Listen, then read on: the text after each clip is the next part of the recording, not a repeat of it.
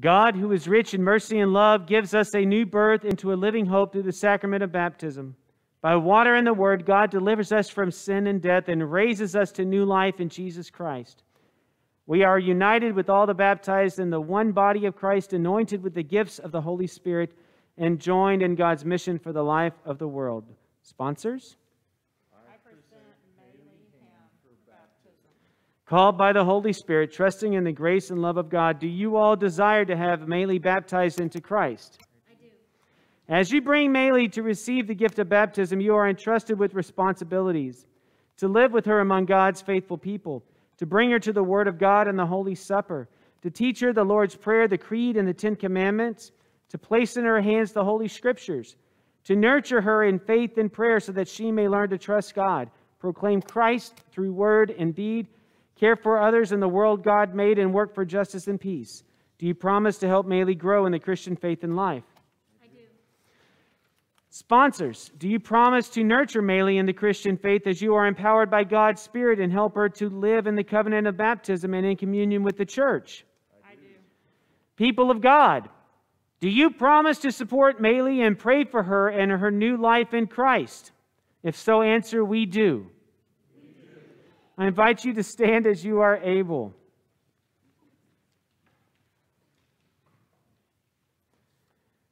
I ask you to profess your faith in Christ Jesus, reject sin, and confess the faith of the church. Do you renounce the devil and all the forces that defy God? If so, answer, I renounce them. Do you renounce the powers of this world that rebel against God? If so, answer, I renounce them. Do you renounce the ways of sin that draw you from God? If so, answer, I renounce them. I renounce them. Let us boldly confess our faith using the words of the Nicene Creed. We believe in one God, the Father, the Almighty, maker of heaven and earth, of all that is seen and unseen. We believe in one Lord Jesus Christ, the only Son of God, eternally begotten of the Father, God from God light from light, true God from true God, begotten, not made, of one being with the Father. Through him all things were made. For us and for our salvation, he came down from heaven, was incarnate of the Holy Spirit and the Virgin Mary, and became truly human. For our sake he was crucified under Pontius Pilate. He suffered death and was buried. On the third day he rose again in accordance with the Scriptures. He ascended into heaven and is seated at the right hand of the Father. He will come again in glory to judge the living and the dead, and his kingdom will have no end.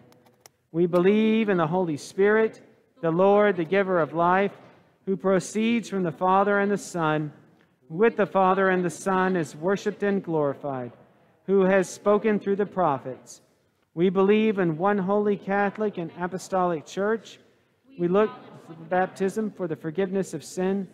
We look for the resurrection of the dead and the life of the world to come. Amen. The Lord be with you. Let us give thanks to the Lord our God. It is right to give our thanks and praise. We give you thanks, O God, for in the beginning your Spirit moved over the waters, and by your word you created the world, calling forth life in which you took delight.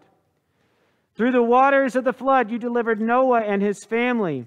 And through the sea, you led your people Israel from slavery into freedom. At the river, your son was baptized by John and anointed with the Holy Spirit. By the baptism of Jesus' death and resurrection, you set us free from the powers of sin and death and raise us up to live in you.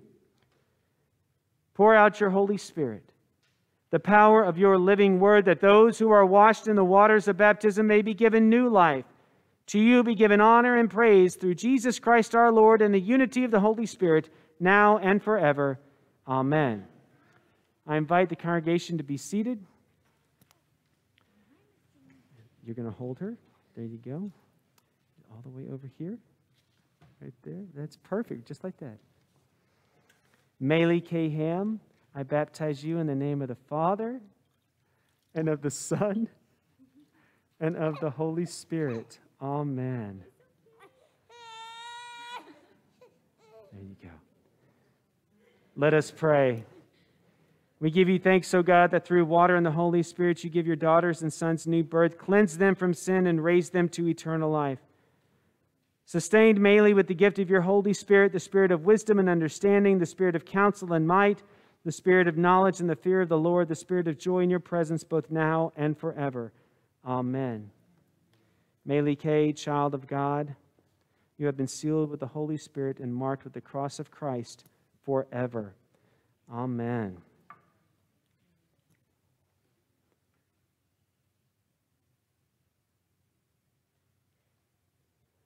I'm going to hand that to you. Let your light so shine before others that they may see your good works and glorify your Father in heaven. Let us welcome the newly baptized. These words are not printed in your bulletin, so I will say them for all of us. We welcome you into the body of Christ and into the mission we share. Join us in giving thanks and praise to God and bearing God's creative and redeeming word to all the world. Let's welcome Mayleigh.